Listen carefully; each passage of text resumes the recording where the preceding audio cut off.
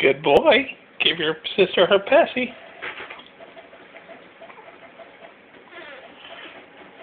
Huh?